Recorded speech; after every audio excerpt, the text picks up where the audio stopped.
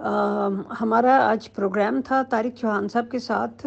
Time तो उसका अ, पाकिस्तान के तीन बजे था लेकिन अ, मुझे कोई अर्जेंट काम आ पड़ा तो घर से बाहर जाना पड़ा तो जिसकी वजह से उस वक्त मैं हाज़िर नहीं हो सकी। तो अम, अब हम वो प्रोग्राम जो है वो अब इस वक्त शुरू कर रहे हैं। और वो पिगट वाली पेशगोई जो थी बानी सिलसिला अहमदिया की पिगट के बारे में। तो अ, कई लोगों को उसके बारे में कुछ पता नहीं है तो तारिक चौहान साहब वो पेशगोई भी पेश करेंगे। और उस सारी पेशगोई का कि वो पूरी हुई या नहीं हुई क्या सिलसिला हुआ उस सारे मामले का तफसीली जायज़ा लेंगे। तो मैं दावत देती हूँ मोहतरम जनाब तारिक चौहान साहब को कि वो तशरीफ़ लाएँ। और पिगट वाली पेशगोई का आ, हमें पहले बताएँ उस पेशगोई की तफसीलात और फिर उसके बाद उसका जायज़ा लें। जी ये मजमू इश्तहारात जिल्द सोम में ये हज़रत मिर्ज़ा साहब की तहरीर है उसमें वो लिखते हैं मगर अफसोस हज़रत मसीह के पैरों अब तक इस ज़माना में भी खाम खा खुदाई के ख़िताब उनको दे रहे हैं यानी हज़रत मसीह को। अगरचे इस ख्याल का बुतलान ऐसा बदीही था कि किसी दलील की ज़रूरत न थी। मगर अफसोस कि ईसाई अभी तक इस ज़माना की हवा से भी दूर बैठे हैं। बल्कि बाज़ लोगों ने जब देखा कि ऐसे लगव ख़यालात का ज़माना ही दिन ब दिन मुखालिफ होता जाता है तो उन्होंने अपनी मामूली तरीक़ों से मायूस होकर ये एक नया तरीक़ इख्तियार किया कि कोई इनमें से एक अलियास बन गया और किसी ने यह दावा कर दिया कि मैं मसीह ने मरियम हूँ और मैं खुदा हूँ। मुजमल फ़िक्रा से मुराद मेरी ये है कि लंदन में तो मिस्टर पिगट ने खुदाई और मसीहत का दावा किया और अमेरिका में मिस्टर डोई अलियास बन बैठे और पेश पेशगोई कर दी कि मसीह इब्ने मरीम 25 बरस तक इस दुनिया में आ जाएगा। दोनों में फ़र्क ये है कि डोई ने तो बुजदली दिखाई और इलियास बनने में भी अपनी पर्दादरी से डरता रहा और मसीह न बल्कि, बना, बल्कि मसीह का खादम बना। और पिगट ने बड़ी हिम्मत दिखलाई कि ख़ुद मसीह बन गया न सिर्फ़ मसीह बल्कि खुदा होने का भी दावा किया।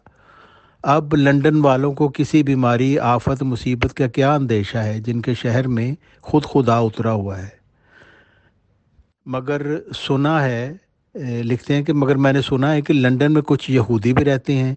इसलिए बेशक ये अंदेशा है कि इनको तबन ये ख्याल पैदा हो कि ये तो वही मसीह है जो सलीब से बावजह गशी के गलती के साथ ज़िंदा उतारा गया। और फिर मौका पाकर मशरकी बिलाद की तरफ़ भाग गया। आखिर अब ऐसे तौर से इसको सलीब दें कि काम तमाम हो जाए और फिर किसी तरफ़ भाग न सके। और साथ ही ये फ़िक्र भी है कि मुबादा ईसाइयों को भी ख्याल आ जाए कि पहला कुफारा पुराना और बोदा हो चुका है और शराब खोरी और फिस्क फजूर की कशरत ने भी उसे साबित कर दिया है कि इस कफ़ारा की तासीर जाती रही है। इसलिए अब एक नए खून की ज़रूरत है। सो मैं हमदर्दी से कहता हूँ कि मिस्टर पिगट को इन हर दो फ़िरक़ों से चौकस रहना चाहिए। अलकिस्सा इन दिनों में जबकि ज़मीन में ऐसे ऐसे झूठे और नापाक दावे किए गए हैं, इसलिए खुदा ने जो जो ज़मीन पर बदी और नापापी, नापाकी का फैलना पसंद नहीं करता, मुझे अपना मसीह करके भेजा। ता वो ज़मीन की तारीकी को अपनी तोहहीद से रोशन करे और शिर की नजाजत से दुनिया को मुखलिसी बख्शे। फिर वो लिखते हैं कि मेरे लिए उसकी यानी अल्लाह ताला की हज़ार हा गवाहियाँ हैं जिनको मैं शुमार नहीं कर सकता, मगर मिन जुमला इनके ये एक, ये भी गवाही है कि ये दलेर, दरो को यानी पिगट जिसने खुदा होने का लंदन में दावा किया है, वो मेरी आँखों के सामने नेस्तो नाबूद हो जाएगा। दूसरी ये गवाही है कि मिस्टर डोई अगर मेरी दरख्वास्त मुबाइला कबूल करेगा और सराहतन या इशारतन मेरे मुकाबले पर खड़ा होगा तो मेरे देखते देखते बड़े हसरत और दुख के साथ इस दुनियाए फ़ानी को छोड़ देगा। ये दो निशान हैं जो यूरोप और अमेरिका के लिए ख़ास किए गए हैं। काश वो इन पर गौर करें और इनसे फ़ायदा उठाएँ। जी, ये मैंने तहरीर इसलिए पढ़ी है कि मिर्ज़ा साहब ने अपनी तहरीर में पिगट को भी एक निशान ज़ाहिर किया है। जैसे वो कह रहे हैं कि यूरोप और अमेरिका के लिए दो निशान ख़ास किए गए हैं और उसमें एक निशान पिगट का भी है। जी तो हम आते हैं कि ये जॉन पिगट ये कौन था? ए, तो इसकी मैं थोड़ी सी तफसील आपको बताता हूँ कि इसका नाम था John Hugh Piggott Smith. John Hugh Smith Piggott. और ये साहिब इंग्लिस्तान में अठारह सौ बावन में पैदा हुए। और जब इनकी उम्र तीस साल थी तो ये चर्च ऑफ़ इंग्लैंड में शामिल हो गए। और इनके एक बहुत ही मालदार शख्स था, हेनरी जेम्स प्रिंस। उनके साथ इनके बड़े अच्छे मरासिम थे। और ये जो हेनरी था, ये एंजलिकन फ़िरका जो था, ईसाइयों का उसका पादरी था। और बाद में इसके जब इख्तलाफात हो गए उनके तो ये उनसे बदजन हो गया और फिर क्लेप्टन लंदन में 1892 में हेनरी जिम्स प्रिंस साहब ने एक नए चर्च की बुनियाद रखी, जिसका नाम उन्होंने लिखा Ark of the Covenant. Piggott के बारे में थोड़ी तफसील भी बता दें कि पिगट कौन था, कब पैदा हुआ और मेरा मतलब है कि अगर हम गूगल करें तो क्या वहाँ पे पिगट मिल जाता है और उसके बारे में कोई तफसीलात हमको मिलती हैं या नहीं? इसके अलावा जेम्स हेनरी साहब ने समर सेट शायर में दो सात एकड़ का एक रकबा स्पेक्सटन के मकाम पर भी ख़रीदा और वहाँ पे एक कॉलोनी बनाई और शुरू में तकरीबन साठ के करीब काफ़ी मालदार लोग जो थे, वो उनकी साथ शामिल हो गए। तो हेनरी प्रिंस जेम्स का ये अकीदा था कि जो लोग आर्क ऑफ़ द कोवेनेंट जो उसका चर्च था, जो उसमें शामिल होंगे, उनको पर कभी मौत नहीं आएगी तो अबद ज़िंदा रहेंगे। और ये क्लेप्टन के चर्च में पिगट साहब जो थे, ये सर्विस लिया करते थे हर इतवार को। और हेनरी प्रिंस का जो दावा था, उसका ये प्रचार करते थे और ये भी कहते थे कि रूहुल कुदस हेनरी प्रिंस पर नादिल होता है और अनकरीब यसु मसीह हमारी नजात के लिए नजूल फरमाने वाले हैं। और बहुत सारी जो बेवा औरतें थी, मालदार औरतें, वो इस फ़िरका में शामिल होना शुरू हो गई और इसमें शादी ब्याह के मतलब भी खुद साख्ता कवानीन बना लिए गए और हेनरी जेम्स साहब जो थे, वो हर बेवा से खुद शादी करते थे और फ्री सेक्स उसमें होती थी। और कई दफ़ा वो साथ साथ बेवगान से भी शादी कर लेते थे और उन्हें रूहानी दुल्हनों का स्पिरिचुअल ब्राइड्स का नाम देते थे। लेकिन हेनरी जेम्स प्रिंस, जो कि ये दावा करता था कि हर वो शख्स जो उसके इस चर्च में शामिल होगा, वो उसको अबदी ज़िंदगी मिलेगी, वो ख़ुद 1889 में वफात पा गया। तो जो उनके पैरोकार थे, उन्होंने फिर छः मगोइयाँ शुरू कर दी कि हेनरी प्रिंस साहब का तो ये दावा था कि रूहुल कुदस उन पर नादल होता है और मसीह अन करीब आने वाला है और इस पर ईमान लाने वाले हमेशा ज़िंदा रहेंगे तो ये बेचारा ख़ुद वफात पा गया। तो इस वजह से एक मायूसी की लहर उस वक़्त दौड़ गई उनके पैरोकारों में कि अगर ये रूहुल कुदस पाने वाला था तो ये खुद कैसे मर गया। तो जॉन ह्यू पिगट साहब जो थे, वो काफ़ी समझदार आदमी थे। उन्होंने इस मौका को गनीमत जाना और ख़ुद इस फ़िरका के वो सरबराह बन गए। और उन्होंने ये फ़िलासफ़ी पेश की कि हेनरी प्रिंस साहब जो थे, वो सिर्फ़ मसीह की आमद का प्रचार करने आए थे। और वो आने वाला है, फिर उन्होंने कहा कि वो बल्कि वो मैं ही हूँ। और उन्होंने ये भी कहा कि वो मेरे लिए एक अरहास के तौर पर था, यानी मेरे लिए राह हमवार करने आया था। तो लोग फिर उसकी तरफ़ मुतवजह हो गए। वैसे हैरत की बात है कॉमन सेंस भी उनको नहीं थी कि ये भी नहीं समझते थे कि आखिर हर इंसान मर जाता है। शायद उनका मतलब कोई रूहानी ज़िंदगी हो, ये नहीं हो सकता। क्योंकि ये तो एक हर किसी को इतनी अकल होती है कि इंसान बहरहाल इंसान है। रूहुल कुदस आए उस पर या कुछ और आए, मरना तो उसकी किस्मत है। नौ सितंबर 1902 की बात है कि जब क्लेप्टन का चर्च भरा हुआ था और पुलिस भी बुलाई हुई थी ताकि अमन को कायम रखे तो उस वक़्त उन्होंने ये दावा कर दिया कि ना सिर्फ़ मैं बल्कि यसी हूँ, बल्कि मैं खुदा भी हूँ और खुदा मुझमें तहलील होकर आ गया है। और फिर अखबारों में भी इसकी बड़ी तशरी हुई, उनके इस दावा की। और बहुत सारे लोग फिर उसका 14 सितंबर 1902 को उसका वाज सुनने के लिए आए और लोगों ने नगमे गा गा के उसका इस्तकबाल किया। और लोग जीसस जीसस कहते हुए सजदा में गिर गए। जी जब इंसान किसी पर अपना एतकाद कर लेता है ना तो उसकी मत मारी जाती है। तो क्योंकि उनका ये अकीदा था हेनरी प्रिंस जेम्स ने ये अकीदा फैलाया था कि मेरे फ़िरका के लोग कभी नहीं मरेंगे। तो उसका रूहानी मौत से मुराद नहीं था, वो जिस्मानी मौत मुराद था।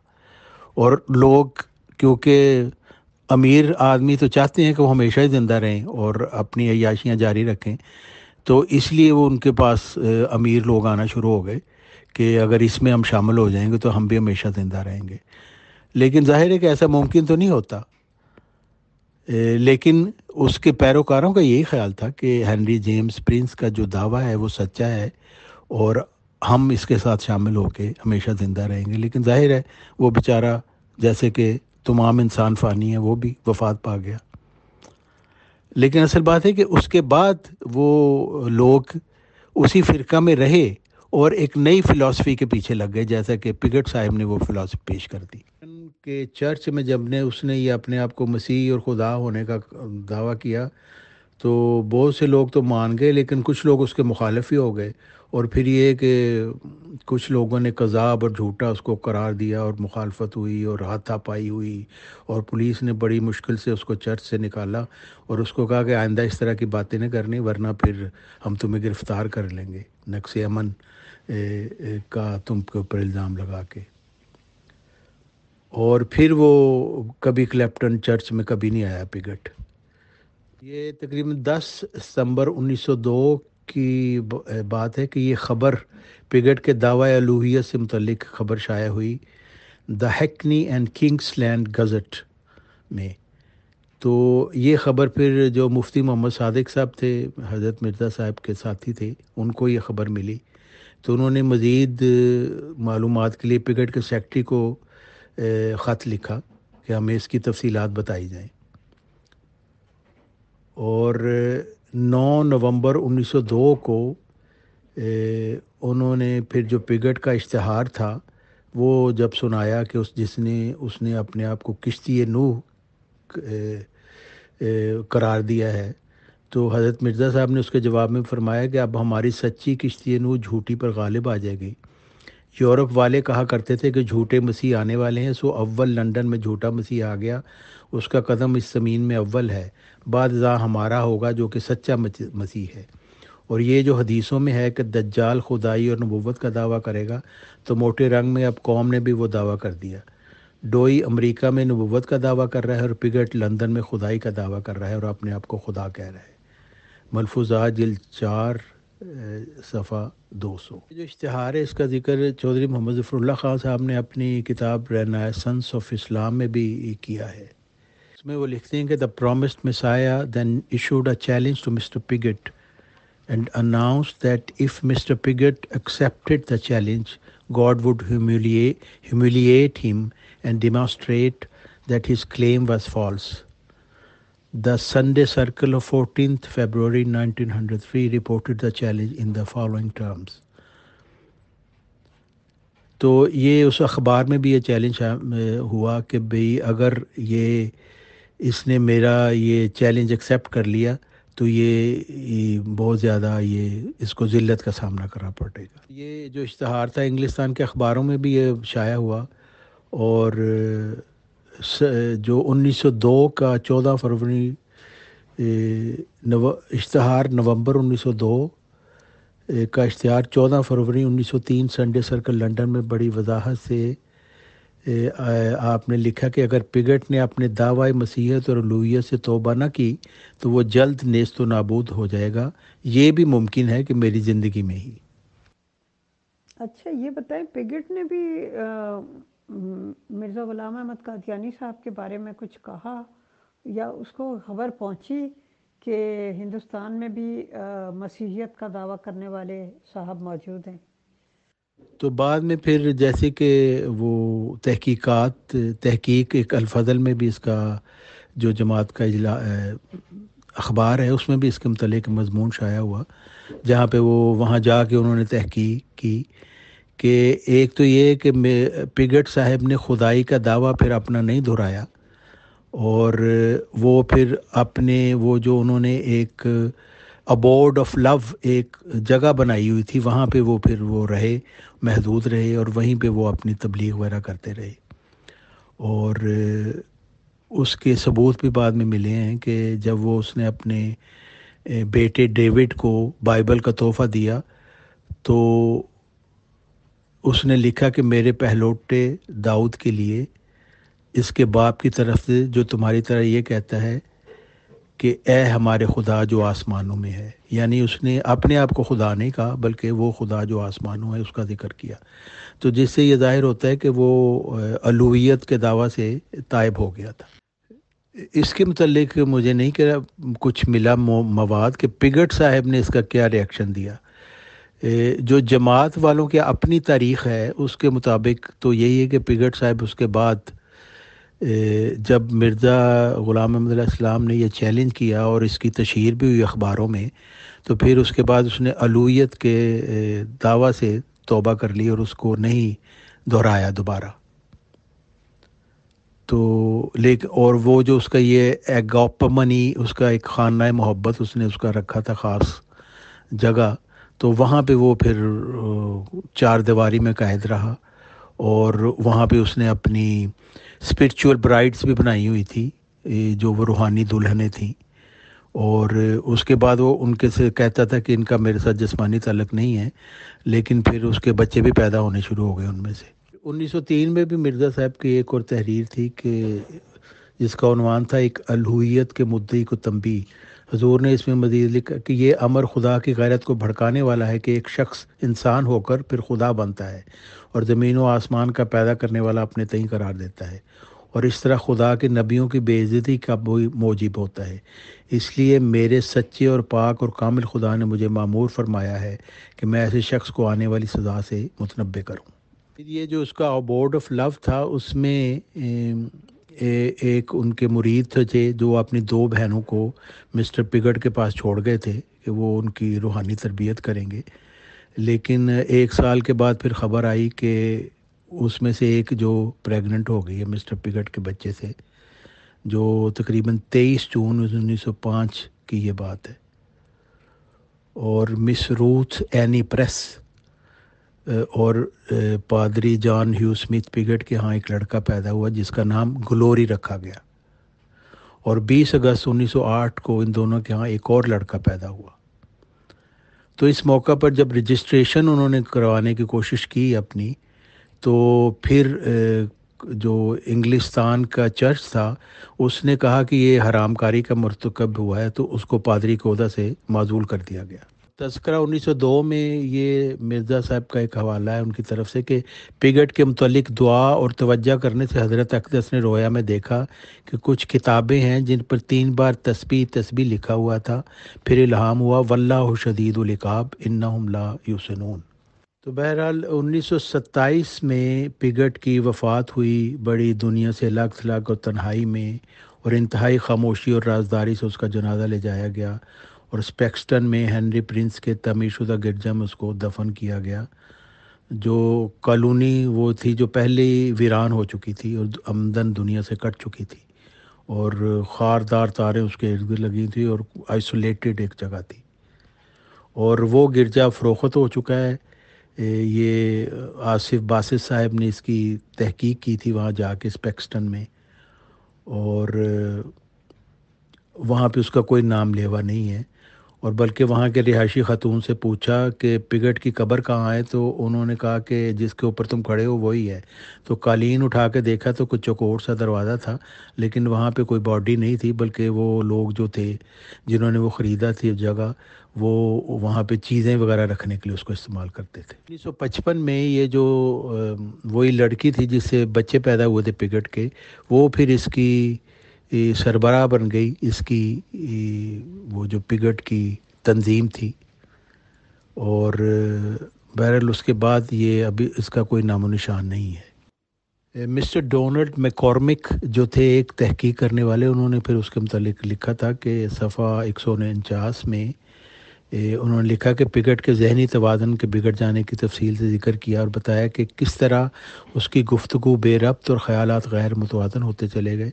और देखने वाले महसूस करते थे कि वो अदम अतमाद का शिकार हो गया है। उसने अपनी वफ़ात तक का वक्त बुखलाहट में गुजारा। मुट्ठी भर पैरोकार भी उसे अख्ताहट और बेदारी महसूस करने कर लगे थे और रफ्ता रफ्ता उसे छोड़ गए थे। और उसकी जहनी कैफियत में वो घुल घुल कर उन्नीस सौ सत्ताईस में फिर वो एक इबरतनाक मौत मरकर इस दुनिया से रुखसत हो गया। डॉक्टर जोशुआ जे शवीसो उन्होंने भी एक, इसके ऊपर पीएचडी की थी।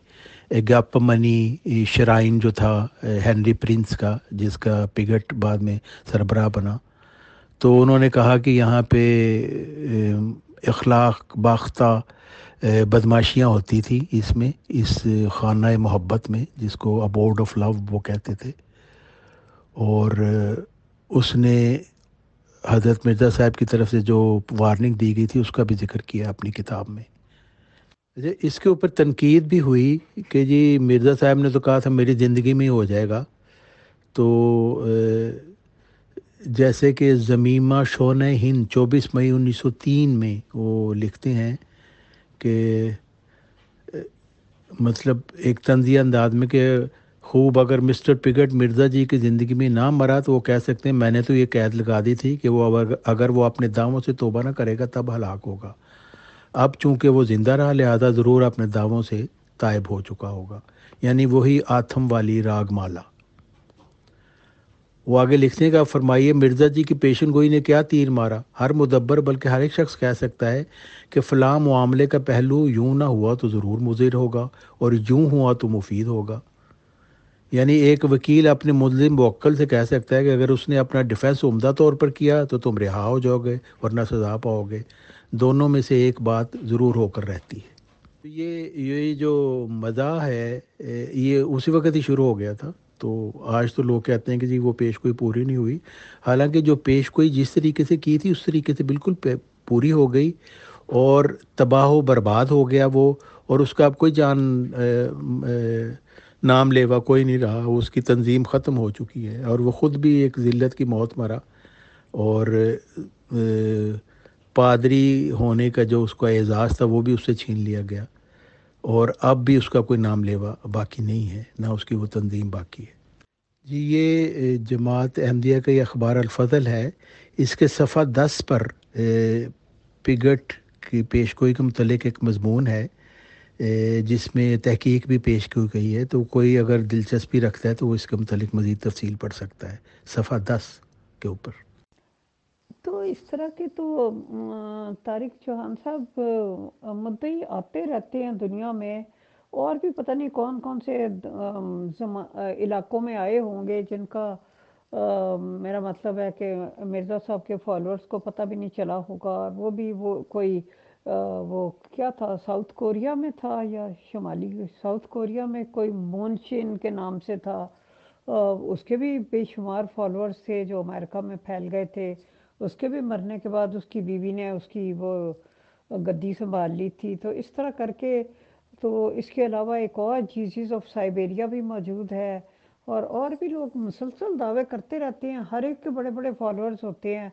चलें, पिगट का नामा निशान तो मिट गया, लेकिन ये कि इन, ये लोग तो जीजीज ऑफ़ साइबेरिया के तो फॉलोअर्स मौजूद हैं। पूरा एक शहर भी उन्होंने बसाया हुआ है और सभी वो वहाँ पे खुद ही जानवर भी पालते हैं, सब्ज़ियाँ भी उगाते हैं और वहीं पे उनके फॉलोअर्स रहते हैं। तो ये सारा कुछ तो दुनिया में चलता रहता है तो फिर इन बातों की अहमियत क्या रह जाती है? और मैं ये समझती हूँ मैं ये जानना चाहती हूँ कि किसी भी मुद्दे, ये नबूत के लिए, जैसे मिर्ज़ा साहब थे, ये ज़रूरी होता है कि और जितने भी उसके वक्त में और मुद्दे, ये नबूत हैं, वो उनको ललकारे और उनको झूठा साबित करे और मेरा मतलब है उनको मोबाइल लेके चैलेंजेस वगैरह दे क्या ये ज़रूरी होता है? या ये ज़रूरी होता है कि अपना अपना काम करते रहें, वो अपने मुल्क में हैं, आपसे इतनी दूर हैं, और अगर वो भी अपने कोई फॉलोअर्स बना लेते हैं तो बनाते रहें। अल्लाह जिसको अल्लाह ने जिसको खड़ा किया होगा, उसको कामयाब कर देगा। जी तो ये तो सिलसिला हमेशा से रहेगा कि लोग आते रहेंगे, दावा करते रहेंगे। अमेरिका में बहुत सारे लोगों ने किया। तो ये ये जो पिगट की पेशगोई थी, इसका क्योंकि मिर्ज़ा साहब के ज़माने में ही हुई और मिर्ज़ा साहब ने इसको चैलेंज भी किया था और उसके बाद उन्होंने मिर्ज़ा साहब ने डोई और पिगट की पेशगोई को एक निशान के तौर पे पेश किया था अमेरिका और बाहर के ममालिक के लिए। तो इस लिहाज से ये इसकी अहमियत है, वरना तो लोग तो दावे करते रहते हैं, उससे तो कोई नहीं फ़र्क पड़ता। तो हर शख्स को तो नहीं, उसको आदमी चैलेंज करता रहता। लेकिन चूँकि इनका मिर्ज़ा साहब ने चैलेंज किया, उसकी तशहर भी की अखबार में भी इसका हुआ तो फिर जिस तरीके से उन्होंने चैलेंज किया था, उस तरीके से ये जो थे पिगट साहब, वो इस दुनिया से रुखसत भी हो गए और उनका अब कोई नाम लेवा नहीं है। तो इस लिहाज से डोई, अलेक्ज़ांडर डोई था, वो भी पादरी था, उसका और पिगट का एक निशान था जो मिर्ज़ा साहब ने निशान के तौर पर उनको पेश किया इनके अंजाम को। बहुत से लोग ये भी सवाल करते हैं कि मिर्ज़ा साहब ने दुनिया में आकर क्या चेंज पैदा की? क्योंकि जमात अहमदिया तो उसी तरह मेरा मतलब है ईमानी और अखलाकी और रूहानी कमज़ोरियों का शिकार हो गई। जिस तरह के बाकी मुसलमान थे तो मिर्ज़ा साहब के आने का क्या फ़ायदा हुआ? क्या चेंज आई? 2011 में ये पिगट की जो नवासी थी इनसे भी बहुत सारे डॉक्यूमेंट्स वगैरह मिले हैं, जो ये बासित साहब का जो प्रोग्राम जो मजमून है उसमें उन्होंने शामिल किए हैं वो डॉक्यूमेंट्स और वो वो भी यहाँ पे मैंने जो लगाया है, वहाँ पे ये पढ़ सकते हैं। तो 2011 में पिगट की यह नवासी मिर्ज़ा मसूद साहब को मिलने भी आई, और उनसे मुलाकात भी की, और तफसीलात भी उसके मतलब बताई। तो इसके मतलब भी आप इसमें, इस मजमून में पढ़ सकते हैं। असल बात है कि वो लोग जो ये सवाल करते हैं, उनसे मेरा फिर ये सवाल है कि वो वो बताएँ जिस नबी को वो मानते हैं, उसने आके क्या तब्दीलियाँ पैदा की। फ़र्ज़ करें अगर ये कोई ईसाई सवाल ये करता है तो हम सब उनसे पूछेंगे, हज़रत ईसा के आने से क्या तब्दीलियाँ आ गई? जो गलाजत, गंद, अखलाकी, गिरावट जो ईसाइयों में है तो क्या हज़रत ईसा ने पैदा की है? तो उनके आने का कोई फ़ायदा नहीं ना हुआ। अच्छा हज़रत मोहम्मद सल्लल्लाहु वसल्लम के लोग देख लें, उन, उनके आने से क्या फ़ायदा हुआ? आज कब्रों से निकाल निकाल के लाशों के साथ जना होता है तो वो मुसलमान है आश के रसूल अपने आप को कहते हैं, वो ये काम करते हैं। तो हम क्या कह दें कि हज़रत मोहम्मद वसल्लम के आने का कोई फ़ायदा नहीं हुआ? असल बात है कि ऐसा सवाल करने वाले वो नादान लोग हैं बेइल्म हैं, वो अल्लाह ताला के नबी भेजने के मकसद से नावाकिफ़ हैं। देखिए, खुदा ताला जो है, वो इंसानों का खालिक और मालिक है। और उसने जस्मानी ज़रूरियात के जिस तरीके से हवा, पानी, खुराक सब कुछ पैदा किया, ताकि उसमें इंसान नशो नुमा पा चु, पा चुके, पा सके। इसी तरह अल्लाह ताला ने रूहानी जो थी सेहतमंदी, उसके लिए भी इंतज़ाम किया, रूहानी नशो नुमा के लिए। और इसलिए ये अम्बिया का सिलसिला जारी किया गया। लेकिन कुरान मजीद तो ये दावा ही नहीं कर रहा कि मैं नबी भेजता हूँ तो सारी तब्दीलियाँ आ जाती हैं। नबी, कुरान मजीद तो ये कह रहा है, हसरत इन बंदों पर। नबी आता है तो हँसी ठट्टा करके उसका इनकार करते हैं। तो इसलिए वो जो इस तरह का सवाल करते हैं, उनको समझना चाहिए कि कुरान अल्लाह ताला हदायत भेजने का ज़िम्मेदार है, क्योंकि वो हमारा खालिक व मालिक है। ऐसे ही जैसे वो हमारी रोटी पानी का ज़िम्मेदार है। हाँ अगर मैं, मुझे एक बीमारी है और मुझे पता चले कि फ़लाँ शख्स इसका, उसके पास ये इलाज है, मैं उस शख्स से जाके मिलूँ ही ना। और मैं बग़ैर देखे उसको कह दूँ कि वो झूठा है, उसके पास कोई इलाज नहीं है तो मैं अपनी बीमारी में बीमार रहूँगा। तो मैं ये कहूँगा, मेरी बीमारी का इलाज करने वाला कोई नहीं है। तो ये इंतहाई नादानी के सवाल हैं, गौर करते नहीं ये लोग कि ये हर एक नबी के मतलब कह जाते क्या फ़ायदा हुआ?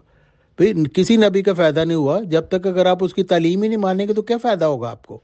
हाँ जिन्होंने तालीम मानी, उनको फ़ायदा हुआ। लेकिन कुछ लोग ऐसे भी हैं जिन्होंने तालीम मान के उसका इनकार कर दिया। जैसे कि जमात मिर्ज़ाइया है।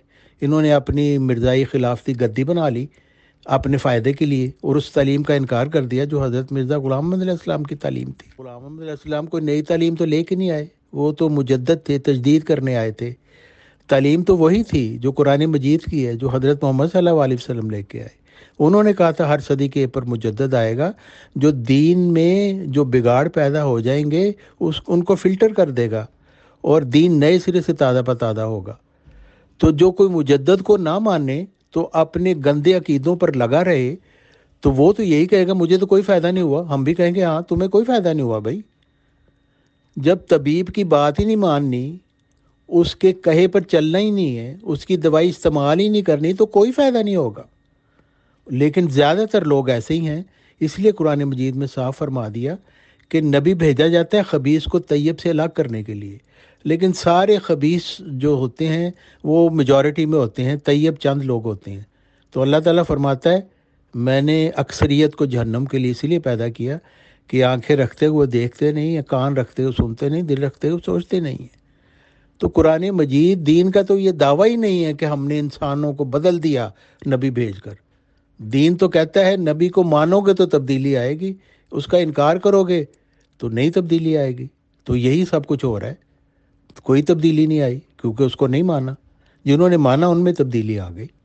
अब देखें, हज़रत मोहम्मद सल्लल्लाहु अलैहि वसल्लम की तालीम के मुताबिक अब हज़रत अब्दुल गफ़ार जम्बा पंद्रहवीं सदी के मुजद्द हैं। और ये हज़रत मिर्ज़ा ग़ुलाम अहमद की पेश कोई मुस्लिम मौत के सच्ची होने का भी सबूत है और आयत इस्तलाफ जो कुरान मजीद में दावा दिया, वादा दिया गया है खिलाफत का, उसके भी सच्चे होने का सबूत है। तो सच्चाई तो सब आपके सामने खड़ी है, लेकिन कोई उसको माने ही ना तो फिर कहे कि क्या फ़ायदा हुआ? तो भाई दवाई इस्तेमाल नहीं करोगे तो ऐसे ही मुर्दा रहोगे जैसे पहले थे।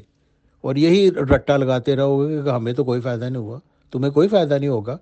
नहीं इस्तेमाल करोगे तो कोई फ़ायदा नहीं होगा। वैसे ही बीमार के बीमार जैसे पैदा हुए थे, वैसे ही वैसे बीमार के बीमार मर जाओगे। और फिर खुदा के सामने जवाब दी होगी। क्योंकि कुरान मजीद तो साफ़ फरमा रहा है सूरतुल मुल्क में कि जब जहन्नम के फरिश्ते लोगों को लेके जाएँगे जहन्नम की तरफ़ तो वो कहेंगे, रोएँगे, चीखेंगे तो फरिश्ते पूछेंगे, तुम्हारे पास कोई आया था खुदा की तरफ़ से डराने वाला? उन्होंने कहा हाँ आया तो था, पर हमने कहा, नहीं तो झूठ बोलता है। तो उन्होंने कहा भाई ठीक मज़ा चक्को फिर ये। तो अल्लाह ताला ने सब कुछ खोल के बता दिया। कोई नहीं मानता, फिर उसकी मर्ज़ी है। जी, मोहतरम थैंक यू वेरी मच मेरे जहन में तो इस वक्त कोई सवाल नहीं है। और एक्चुअली इस पेशवाई के बारे में जानना ही था, क्योंकि इसके बारे में कुछ पता नहीं था। तो आपने, माशाल्लाह, बड़ी मेहनत के साथ ये प्रेजेंटेशन तैयार की है। और हर एंगल से आपने इसको कवर कर लिया इस सब्जेक्ट को और बड़े अच्छे तफसील से आपने सब कुछ समझा दिया है। तो हाजरीन में से किसी का सवाल है, होगा तो वो आपके सामने पेश कर देगा।